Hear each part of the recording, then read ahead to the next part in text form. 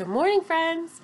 So today is Thursday. If you watched morning meeting video, you know that it's Thursday, which on our special schedule, it is PE, physical education.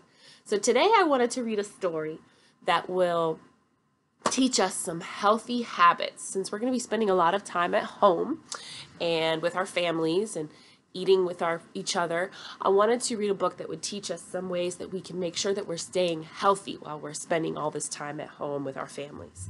So, the story today is called Good for Me and You. And this story is by uh, a famous children's author named Mercer Mayer. Mercer Mayer writes the story and draws all the pictures too. So, this story today, we're going to learn some healthy habits. And as we're reading, I want you to think about what kind of physical activity you can do. Since today is Thursday and we have gym, what kind of physical activity can you do at home to make sure that you stay healthy? And I have some resources that we can use. Um, but think about in our book, as we read with our main characters, what kind of things can we do to stay healthy? Okay? And because it's Thursday, last Thursday, I posted a workout challenge video um, of squats. Remember, I did 10 squats with my baby, and then I challenged you guys to do it too. So today, I'm going to post a new challenge, a push up challenge. And I want you to listen to our book and think about do we have any push ups? Do we see anybody doing push ups in this book? So let's listen to our story. Think about what kind of healthy habits can you do at home while you're at home with your families. And I want you to commit to one new healthy habit you're going to start from our book, okay? And then we're going to write about it at the end.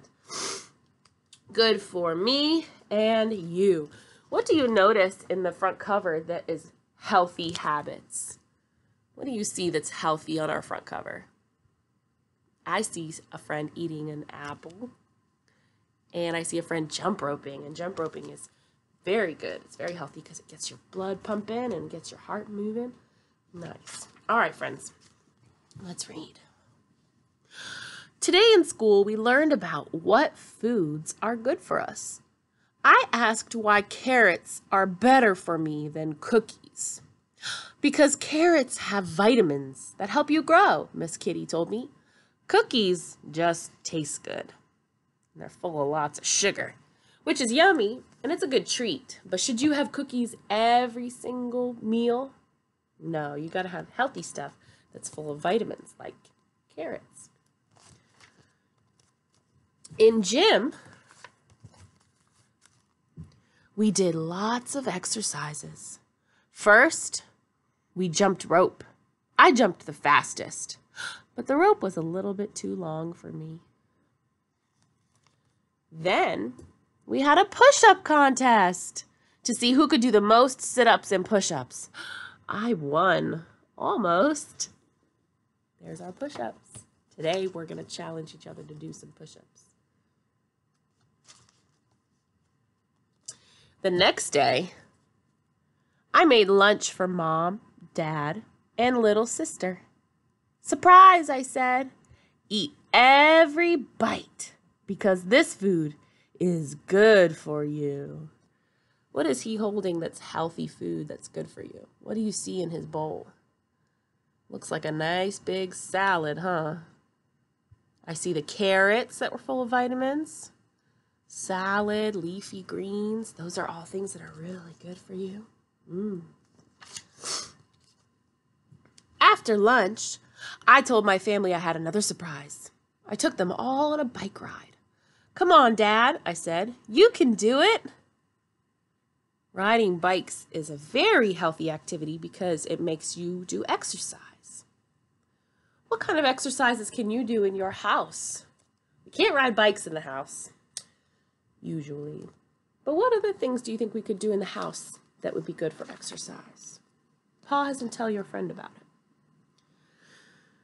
The next day, when Tiger came over to play, play video games, I had a great idea. I called all of my friends to tell them about my idea. Is playing video games exercise? No, not really, because you're just sitting there. Exercise means you got to get up and move, and you got to have your heart pumping. You might sweat a little bit. because you're working hard. Video games doesn't make you work hard. he has an idea. He called up all of his friends. Me and my friends played football all afternoon. That was his idea. I scored a touchdown that won the whole game. Now, is playing football or playing ball, is that exercise? Oh, yeah. Because that gets you moving, running, jumping, scoring. The next morning, I walked to school instead of taking the bus. I had to hurry because walking sure does take longer. At lunch, I almost had a brownie for dessert, but instead, I chose to have an apple instead. So making good choices. So he made good exercise choices. Instead of taking the bus, he walked for some extra exercise. And instead of eating that brownie, he had an apple instead because brownies are full of sugar. They're a treat. It's okay to have treats every once in a while, but you shouldn't have treats for every meal. So instead, he decided to have an apple. Last night, I made a similar decision. It was Mr. Ryan's birthday, if you remember from our calendar on the 30th on Monday, and I made a big pan of brownies, really good brownies. And last night, I was trying to be healthy, so I decided not to eat the brownies for like the third night in a row. And instead, I had something healthy. I had a salad. I'm trying to be healthy, guys. It's hard. It's quarantine. Woo. On the way home, we saw a big sign. Look, said Gabby. There's going to be a race in Critterville. Let's run in the race, I said. Everybody cheered. Gabby said we should do exercises to get ready for the race. But then I got hungry, so I stopped to have a snack. Tiger and Malcolm were hungry too, so I gave each of them a snack. Exercise sure gives you an appetite. And that's true. If you're exercising a lot, it makes you hungry. So you got to make sure that you fuel your body with healthy things to make your body go, right? Pretend like you're like a car. A car needs gas so that they can drive and go. Your body needs healthy food to give you fuel to make you go. The next day, we went swimming. I wore my snorkel and my flippers because they make me go faster. All these illustrations. They're all swimming in the pool.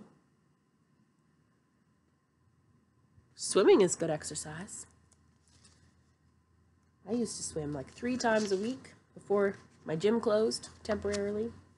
Swimming is really good exercise. Do you guys like to swim in the summer? It's warm out. It's a little too cold to swim now.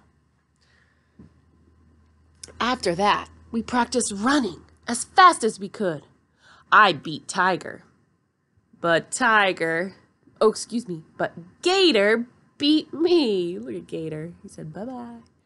And Malcolm beat all three of us. Look how fast Malcolm is. But Gabby beat Malcolm.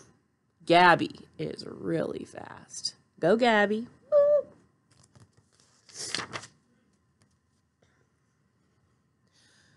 The day of the race, we all took our places at the starting line.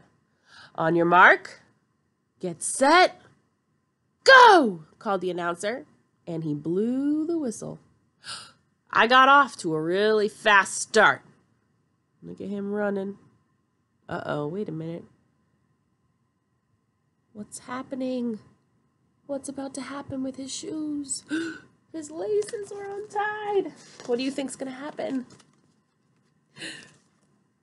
I didn't win, but I ran the whole way without stopping.